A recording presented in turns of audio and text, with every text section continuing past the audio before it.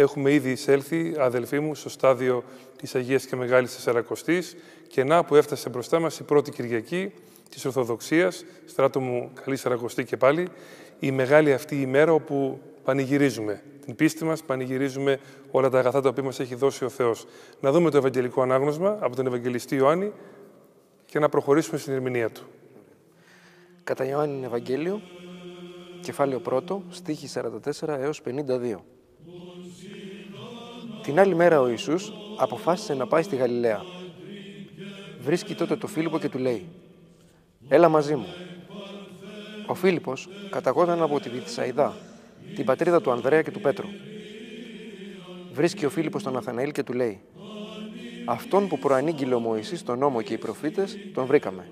Είναι ο Ιησούς, ο γιος του Ιωσήφ από την Ναζαρέτ». «Μπορεί από την Ναζαρέτ να βγει τίποτα καλό» το ρώτησε ο Ναθαναήλ. Έλα και δες μόνος σου, του λέει ο Φίλιππος. Ο Ιησούς είδε τον Ναθαναήλ να πλησιάζει και λέει γι' αυτόν. Να ένας γνήσιος Ισραηλίτης, χωρίς δόλο μέσα του. «Από πού με ξέρεις» το ρωτάει ο Ναθαναήλ. Και ο Ιησούς του απάντησε.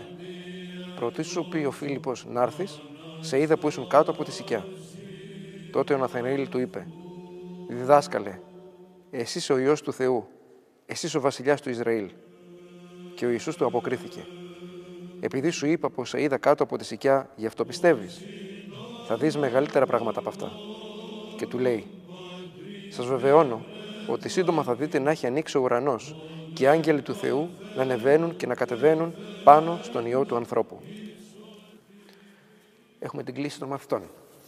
Έχουμε τη συνέχεια της κλήσεως των μαθητών. Ήδη ο Ευαγγελιστής Ιωάννης στα προηγούμενα κεφάλαια ξεκινά να περιγράφει τον τρόπο με τον οποίο ο Ιησούς καλεί τους μαθητές του να έρθουν και να τον ακολουθήσουν, να γίνουν οι πρώτοι μαθητές, αλλά προτού μπούμε στην ερμηνεία του Ευαγγελίου, το οποίο είναι ένα συγκλονιστικό ανάγνωσμα, και να πούμε μερικές βασικές ε, παραμέτρους που έχει για την ερμηνεία του, να επιστρέψω στην ημέρα την οποία εορτάζουμε σήμερα, την Κυριακή της Ορθοδοξίας, την ημέρα που αναστηλώνονται οι εικόνες, την ημέρα που η 7η Οικουμενική Σύνοδος έρχεται και στη νίκη της Κωνσταντινούπολεως και δίδει πλέον τη δυνατότητα να μπορεί να ισορροπήσει ο λογισμός των ανθρώπων, όπου για πάνω από 150 χρόνια υπήρχε αυτή η θεολογική έρηδα κατά πόσον πρέπει να λατρεύουμε τις εικόνες ως αντικείμενα ή αυτό το οποίο εικονίζουν. Και η Εκκλησία φυσικά έδωσε τη λύση, έδωσε την απάντηση στο μεγάλο αυτό κέριο θεολογικό ερώτημα, ότι αυτό το οποίο γίνεται όταν προσκυνάμε μια εικόνα είναι να τιμούμε και να πηγαίνει η τιμή στο, σε αυτό το οποίο εικονίζει. Είτε είναι ο Υιός του Θεού, ο Χριστός μας, είτε είναι η Παναγία μας, είτε είναι τα πρόσωπα των Αγίων. Γίνανε ακρότητες, έχουμε μιλήσει για αυτά πολλές φορές. Έχει όμως πολύ μεγάλη σημασία να κατανοήσουμε ότι στην Εκκλησία η έννοια του προσώπου ταυτίζεται με τον Ιησού Χριστό. Ο Χριστός είναι εκείνος ο οποίος μας καλεί να ενωθούμε μαζί Του και να γίνουμε πρόσωπα εν Χριστώ. Γι' αυτό και η αναστήλωση των εικόνων έχει πάρα πολύ μεγάλη σημασία και την πανηγυρίζουμε την ημέρα αυτή. Είναι πραγματικά, όπως είπα, γιορτή της Ορθοδοξίας. Έτσι λοιπόν η Εκκλησία επέλεξε το Ευαγγελικό αυτό ανάγνωσμα για να μπορέσει να δείξει ότι η κλίση του Ιησού προς τους μαθητές Του είναι κλίση προς κάθε άνθρωπο. Είναι κλίση διαρκείας. Συνεχώς ο Χριστός καλεί τους ανθρώπους να έρθουν κοντά Του και να γνωρίσουν το Ευαγγέλιό Του, να γνωρίσουν την αλήθεια την οποία έχει και να αντιληφθούν τι ακριβώς, αυτό το οποίο θα δούμε και στην πορεία, ότι το μήνυμα του Ευαγγελίου είναι για όλους τους ανθρώπους. Ο Φίλιππος και ο Ναθαναήλ είναι δύο μαθητές οι οποίοι έχουν ένα ιδιαίτερο γνώρισμα. Θέλω να πω ερμηνευτικά ότι οι 12 Απόστολοι, τους οποίους ο Χριστός καλεί και έχει κοντά του, με εξαίρεση τον Ιούδα, ο οποίος τον προδίδει και μετά γίνεται η εκλογή από τον διάδοχό του Ματθία για να αναλάβει τη θέση του Αποστόλη Ιούδα.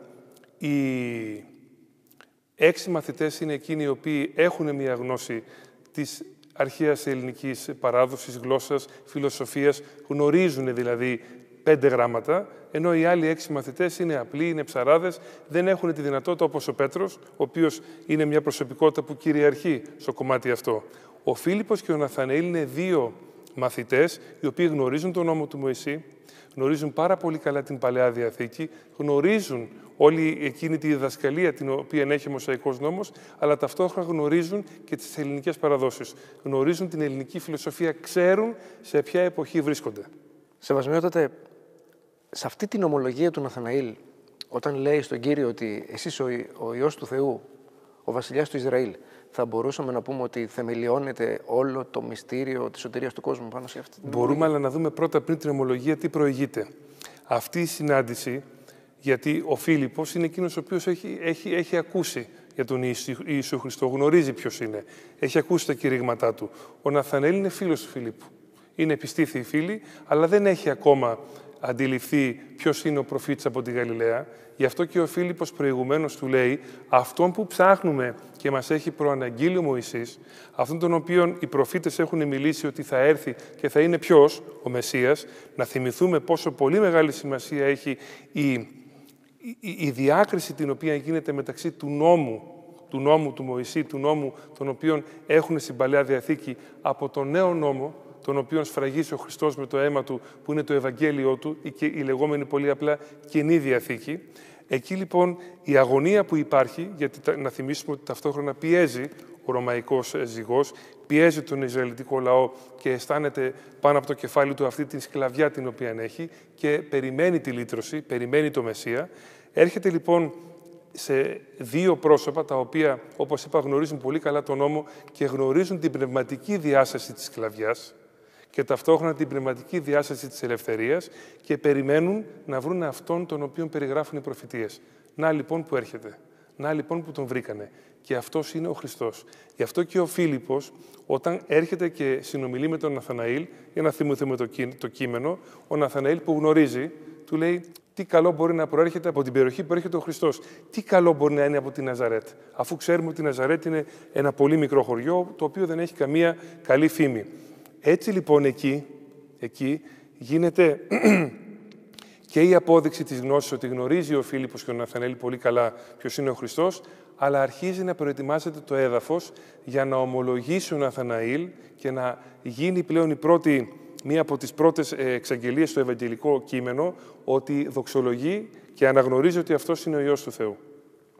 Είναι υπέροχο πάντως πώς μόνο από μερικά λόγια του Κυρίου ο Φίλιππος αισθάνθηκε ότι αυτός είναι ο Θεός.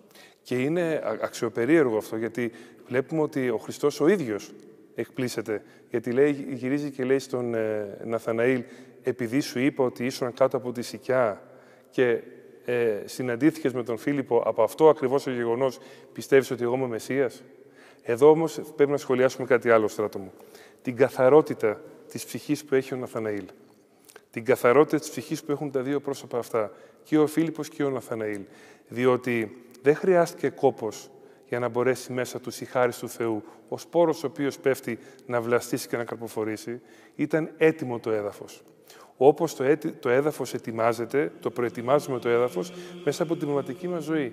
Να μια πολύ όμορφη αφορμή που συνδέεται με την περίοδο της Μεγάλης Σαρακοστής, όπου αυτή η περίοδος της νηστείας, της προετοιμασίας, της μετανοίας την οποία βιώνουμε μέσα στη ζωή της Εκκλησίας, μας προετοιμάζει για να ζήσουμε το γεγονός που είναι η Ανάσταση του Θεανθρώπου. Το γεγονός το οποίο αλλάζει ολόκληρη την ανθρώπινη ιστορία. Έτσι λοιπόν, ο Ναθανέλ και ο Φίλιππος είναι δύο Απόστολοι που πρώτα απ' όλα γνωρίζουν, αλλά δεύτερον έχουν καθαρή καρδιά είναι έτοιμο το έδαφος. Είναι όπως στην παραβολή του καλούς πορέως, είναι εκεί όπου το χώμα έχει πλέον τόσο καλά καλλιεργηθεί που μόλις έπεσε ο σπόρος δεν χρειάστηκε τίποτα, αμέσως καρποφόρησε. Αυτός είναι ο Ναθαναήλ και αυτός είναι ο Φίλιππος.